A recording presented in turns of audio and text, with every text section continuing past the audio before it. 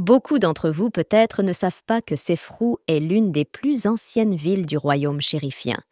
Située au sud de Fès, cette perle marocaine est souvent désignée comme le Jardin du Maroc, la ville des cerises ou encore la ville des grottes. Son histoire millénaire et sa richesse culturelle en font un lieu unique où la tolérance et la coexistence se mêlent harmonieusement.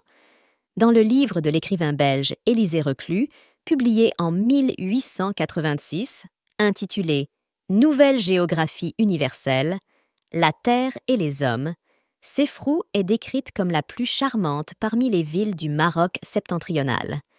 Les jardins de Sefrou s'étendent à perte de vue depuis les collines environnantes, fournissant à la capitale, Fès, une abondance de fruits, légumes et autres denrées. Cette ville est un véritable paradis terrestre, embaumé par le parfum enivrant des fruits qui poussent en abondance.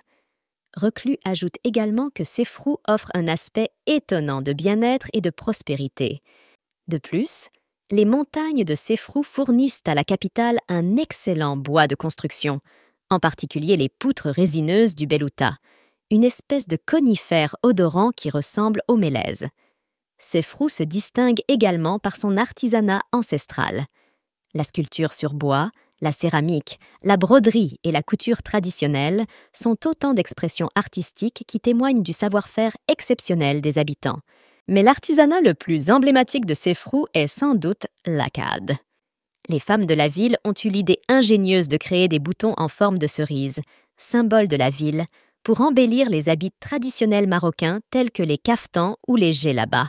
Chaque année, durant trois jours en juin, les habitants de Sefrou célèbrent la splendeur naturelle et culturelle de leur région. Le Festival des cerises existe depuis 1920.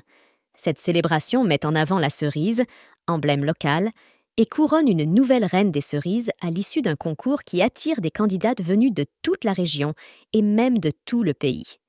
Cette tradition, inscrite au patrimoine de l'UNESCO, met en lumière non seulement la beauté des fruits, mais aussi les coutumes, les costumes et l'héritage culturel de la communauté locale.